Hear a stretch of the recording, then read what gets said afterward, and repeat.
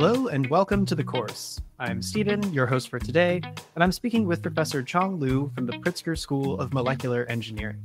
Professor Liu is the Neubauer Family Assistant Professor of Molecular Engineering, and her research focuses on materials science, electrochemistry, water, energy, and separation with a focus on resource extraction from water systems.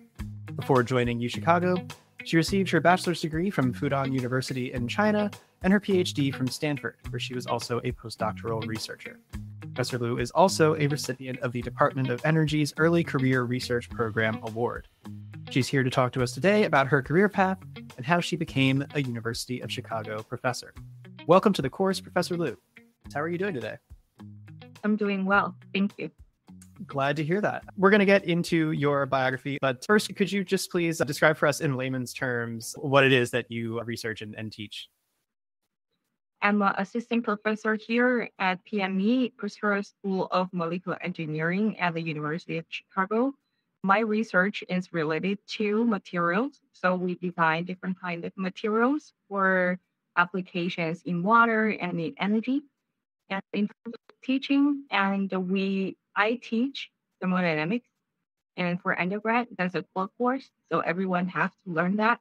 And I also teach a analytic course, which is for graduate students. That's about molecular science and engineering of water. Okay, thank you. I look forward to hearing a little bit more about those topics. But first, can you just take us back and give us a sort of brief overview of your career, beginning in undergrad and up through now? Yeah, I had my undergrad in China in Fudan University. My major in my undergrad is chemistry. So it's very common for a chemistry major to pursue research in undergrad. So after two years of research, I'm really interested in material science. So then I applied for a PhD program at the United States, and then I got admitted to Harvard. And then I came here to the United States to do my PhD, and then afterwards I did my postdoc at Stanford too, on material related research. Okay, and uh, just uh, going back a little bit further, um, when you were maybe the equivalent of like uh, an American middle school or high school age, what were you interested in at that point? And was there any indication that you were going to end up in the field that you're in now? Oh, I think when when I was a little, the general culture in China is that you have to get high education in terms of later you have a good job and a good quality of life. And so that is always the reason that everybody is working hard to try to maintain their academic excellence. I was just following the same track as everybody that we do. We try to work hard and get into good university. And at one time, I think I didn't realize that I'm going to pursue a academic career as a professor, but I always enjoy teaching, maybe just or like a simple discussion of passing knowledge to my peers, even just in my classroom. So I, I do remember one character of me is that I'm always interested in everything. I'm very curious about how things work.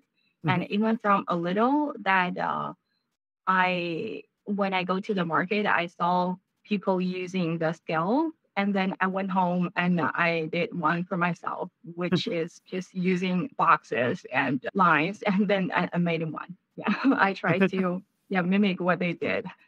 Yeah. Okay, that's cool. Yeah, that's an interesting uh, little foreshadowing there of, of your future career. Um, yeah. Can you tell me how you specifically got into the areas of research that you're in now? I'll have to be honest. I'm looking at your your profile here on the UChicago website. It mentions electrochemistry and yeah. energy and separation. I'm not really sure what these topics are and what they have to do with each other. So, how did how did you get into them? Well, you are quite right.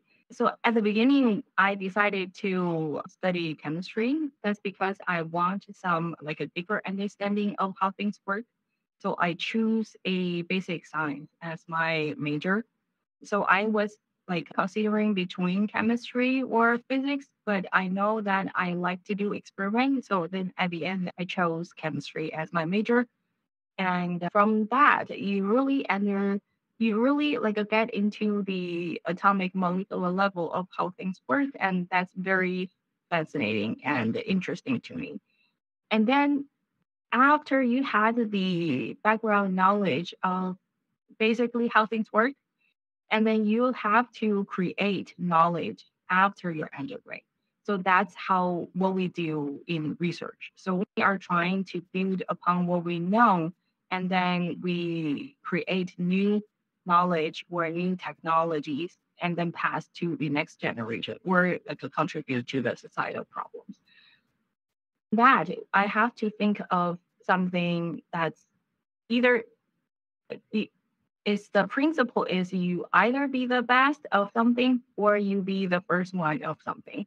so that's how I'm taught by my advisor, like how you can have a position or have uh, contributions to your own field. So then I choose something that people haven't really worked on a lot, which involves materials. That's my background and electrochemistry also is my background, but I combine them together and we developed a new method for separation, which is really, I'm very excited about and it's really working well. And the target is to address the critical element supply chain issue Oh, okay. Interesting. I do want to hear more about that research, but I wanted to ask about who's been supporting you throughout your journey. You, you mentioned some lessons from your advisors there. And uh, yeah, just curious, who are some of the people who have been there for you? Definitely the first two would be my advisors. The first one is my PhD advisor. So he has a group of, when I was there, and he had a group of 40, 50 people and we sometimes have seven or eight subgroups doing different things. So in that environment, you really got to learn that you don't know enough, right? So you have to be really deep in your own area, and at the same time, you heard other people talking about other things they are working on and you are not familiar with. So I think that environment really gave us a opportunity to have a broader knowledge. I think I, I would really thank my advisor to create such an environment that each of us can learn a lot, like maybe more than a small group can learn. Yeah. And he's always passionate about science and research and he's a very energetic guy and he like teach us a lot and you, can think of a he's managing 40, 50 people, and everyone has to get a paper published every one or two years. So mm. his working mode is really yeah. heavy. so that really inspires us of looking at him and uh, to know how hard we should work if we want to be in this field. Yeah, that's yeah. a lot of pressure for sure. And I, am curious to hear from you. One thing that we try to ask about is just how people's international experiences have shaped their career. Obviously, you started abroad in China. So, what was it like for you coming to the US, and what were some of the challenges um, of getting to work on your PhD in that environment? Well, it's very different than China, I have to say. At the beginning, I didn't realize that we have a lot of homework, even as a graduate student. so I thought I did all my work in my undergrad, and that's enough. But because I'm switching to a different major and chemistry and material science actually are very different. So chemistry major pursuing material science, we still like a lot of fundamental knowledge. So that's why we have to take 15 required courses. So that's really a lot for graduate student. Mm-hmm. Basically, for PhD, you spend five, six years. And for the first two, three years, we have to take like maybe two courses per quarter. So that's really heavy load in study, not research work. I think that that do have some payoff. Yeah, yeah. So we learn a lot. So we have a like a more like stronger background knowledge of supporting us to do what we want to do. So that's very different. I thought I'm just gonna come here and do research, but and now I have to homework for the first two one or two years. But that do trigger me to think more on my own research and how I can apply all these new knowledges that I have learned to my own research. And the other thing is language, definitely. So we do have trainings in English in China, and we've learned that from middle school, then elementary school. Uh, but still, that's not enough in terms of education in English because all the higher education we've done in China is still in Chinese. So the terminologies are not translated. So that's some barrier to me that I have to check by myself that to have understanding of the content. Yeah, yeah, I'm curious for a field that I'm sure has so many technical terms that one needs to know. What is the process like of coming from a completely different language with a different set of terms and having to learn those terms in English? Yeah, that's a difficult part. So you have to remember all those things by yourself. But if something is taught to you for the first time, then that's easier because you don't have a confusion about a translation in Chinese, then you don't have to find a correlation. Mm-hmm. But if the concept is already taught in Chinese, so the understanding of English sometimes is not exactly what I expect. So I have to do to eliminate the confusion that I caused by myself due to the translation. Yeah. Yeah. Yeah. Yeah. As you were finishing your PhD and looking at your next move, was there any question that you were going to continue in academia? Was that a concerted decision that that you made at a certain point? Were there other options, other paths that you were thinking of following? Oh, actually, no. I'm enjoying very much the career that I picked. And now I'm still pretty fresh in my career, and this is my fifth year. So all I feel is still passion and energy that I try to do what I'm like a planned where I have envisioned for. And still I see my group is growing. So that's still the uphill for the upper trajectory of my career. So I'm still very much enjoying it. Yeah.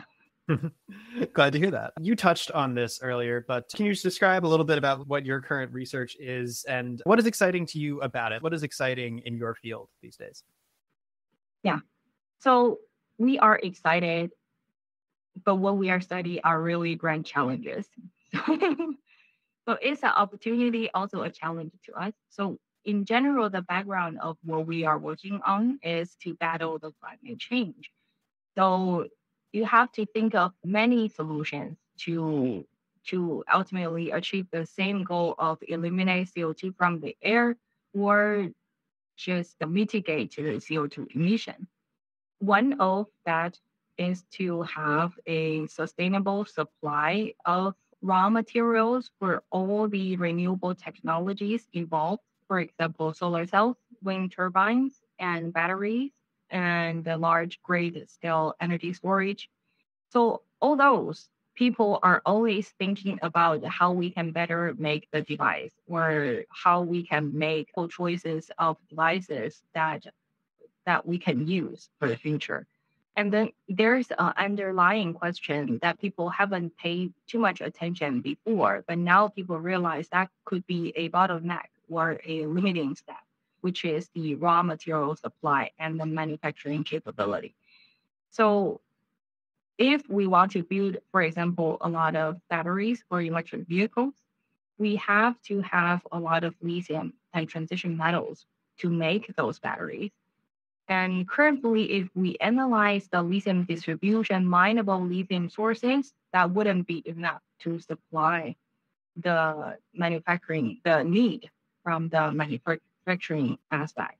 Mm-hmm. So then we have to really think of new alternative resources that we can utilize for the manufacturing of raw lithium, as well as when we move on to these alternative resources, they get more and more dilute because people always start from the more concentrated one, so it's more profitable and then now the challenge becomes we have to do lithium mining in more challenging environment, and the current method wouldn't work as well.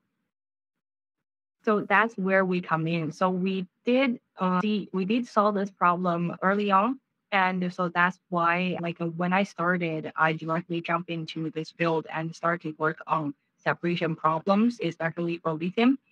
And we want to develop a method that can directly pull lithium out of unconventional water sources, for example, um, geothermal brines, uh, oil field blowback water, or even ultimately seawater, and there wouldn't be a limited supply issue. So if we can have a high selectivity that's much better than the current technology can provide, then we can definitely solve this issue. So we just need to make this method better and better and economical. Yeah, so that's what we do. What we do is we design the material and we design a electrochemical platform to utilize this material. And this material can pull lithium into their crystal structure. And then we can design the crystal structure to have a great environment for lithium only, but not for the other type of ions, so that only lithium comes in. So we can pull lithium out. Wow. So I mean, basically, you're talking about um, building something that can extract a single element or, or, compound. Yeah. Not sure the right term is, but from from water, basically, or from. Yes. I mean, just yeah. So wow, that's that's fascinating, and it's interesting how something on such a tiny molecular level could have such huge implications across the world for, like you said, uh, renewable energy.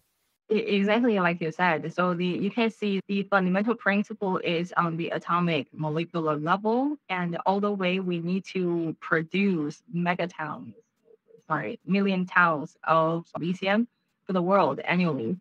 So there's like the orders of magnitude difference in there. So we have to like a work from the very small level all the way to a device level and scale them up. Yeah, that's really cool. What would your daily life be uh, in a situation where you are working hands on on that kind of thing? Yeah. So usually my student, each of them have their own project. They lead their own project. So the most important thing is the communication between me and the student as well as the student to his or her peer. We do weekly meetings or even within a week we meet multiple times just to discuss the progress on the research. And we are always brainstorming together and then try to find the best solutions to if there's an emerging issue in the research or experiment. Or we try to brainstorming about new ideas on this topic what like uh, what kind of other material can we use or how can we optimize the current material or current uh, experiment setup. So other than that, the students are very independent. So they go into the lab and do their own research. We are typical wet chemistry lab, and the student have to do the synthesis from the precursors. So they carry out the synthesis to the target material that we need and do all sort of characterization to know the morphology and the defect level and the thermodynamic properties of this material. And then we assemble the material into a electrode device and then test how they respond to the target ion that we are looking for. Yeah, so characterization is really a huge part to us. And we like to really understand how this material is working so we have a lot of tools that can probe and nanoscale or atomic level uh, informations of the material that can help us to improve the material. Okay, that's some really interesting specifics, and I want to also just ask a kind of general question. Um, yeah. About about your current job, what would you say is the most fun aspect of what you do currently, and what would you say is the least fun? The most fun part, always the most exciting thing, exciting moment to me is when we know how something works. So it's not to me like when the my paper is published or like those are also exciting moments, but it's not comparable to when you really know, okay, this problem has been a puzzle to me for a long time. And now through all these studies, we really understand how this works and we can manipulate that. So mm-hmm. that's the really exciting moment to me. Yeah. Okay. That's a great answer. What about uh, least fun? Like, what is the, the enjoyable part? I don't think it's least fun. It's just it's and not very common to do a lot of jobs that you have role transitioning pretty frequently. So you have to have different thinking mode in a day. Like uh, we, you will be a a teacher and to prepare for the lectures and you then it's a different knowledge. And then you have to do research with your student and that's also a different type of thinking mode. And then you have all these services to the department to the university and you have to do your own finance which is more like a startup company that you are doing many roles in one. Mm. and it's fun but sometimes the transitioning can cause some like a delay in how good I am in it. yeah. Yeah. Um, yeah. So I, I just to clarify, because I think that's an interesting aspect of, of this kind of thing that people don't often think about. As someone who's in charge of your research group, you're in charge of making sure that it gets funded and keeps running. Yes. Yes. Yeah, is that I would imagine that could be one of the more stressful aspects of this work, just because that's not really. I, I don't know. Are, are, you trained for that at all? How, how does someone learn how to do that? That's something new I learned after I started the job. So we don't get many experience about grant writing when we were, especially when we were graduate students. So seldom we, we would get to that. So when we were postdoc, maybe there are some times, but definitely not to the level when you are a independent researcher that you have to write several grants per year, and you would hope for a good portion of that to be funded to make the group sustainable so I, I have to learn through failure. well, that's I think that's a fun process because at the beginning you really think you know a lot, and then you are very excited about your idea, but then the proposal doesn't seem to be what you expected. Yeah. And then you realize, okay, it's normal, and maybe I have to deliver the message in a more understandable way, and then not only I know this is important and try to assemble evidence to make others think that this is important. And at some point you are you you kind of getting better and better. Yeah. Yeah. What would your advice be for people who are interested in getting into molecular engineering and interested in pursuing it at a high level? Yes. So I do encourage students to think about still the engineering or the basic science aspect of research. I know computer science, AI, machine learning is very hot topic. And uh, we are also trying to innovate the style of how we do research to be compatible with the big data and machine learning. But you cannot do machine learning without a fundamental knowledge to that field. So it's not a algorithm that can learn physics. You have to know physics or chemistry to tell the computer what to do. So you cannot rely on a computer to send a rocket to the space. So you have to validate that. So in that, there there ha- there is definitely a huge need for students to work on this area because we have to come together to find a solution for the climate change there's not an algorithm that can learn physics. there, there's a lot of wisdom in that. That's a good, very good uh, and an important one for people to keep in mind. Um, I, and I think you, you said at the beginning that you are really excited and laser focused on what you're currently doing. If you want to just not answer this question, that's fine. But we've been asking people, are there questions that you hope to work on in the future? You know, are there other technologies that you'd like to work on or outstanding problems that you see yourself doing further down the road? Yeah. So that's always something like uh, whenever I saw something out of my field and they seem very exciting, and I read that from a, for example, just a journal article, and I was always wondering whether I can do something like that. So I think I do keep an open mind to different type of research which doesn't seem very close to me. Maybe I cannot carry that out in my own group uh, just by ourselves but even we cannot do that in our own lab, we can do those type of research through collaboration. When different people, like when people from different fields come to a like a mutual interested topic, and, and there could be fireworks, and it's a idea that and that has never come to the field before. So th- those are the things I'm really looking forward to. I hope our expertise can bring some excitement to some biological research or other field not related to material science. Yeah. Yeah, I certainly see opportunities for those kinds of connections. Um, just to wrap up, if you can pinpoint it, what would you say is the most fulfilling thing about your job?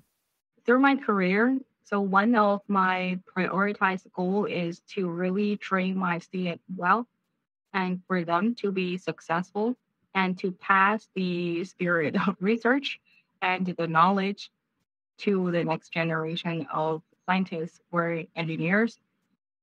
Um, that's the really I put a lot of my effort in communicating with my student and really helping them to be a like a better researcher. And so that's one thing. And another thing is like we are really excited when we have something new come from our research and we think it could potentially be impactful to the field. So those two things are currently what I'm, I'm thinking are the crucial moment for our, ourselves. Thank you, Professor Liu, for your time today. And course takers, if you enjoyed listening to today's interview, please check out the other ones, leave us a comment, subscribe, follow, and share this episode with your friends and family. You can find out more about the University of Chicago through uchicago.edu or the university's campus in Hong Kong through uchicago.hk. Stay tuned for more. See you around.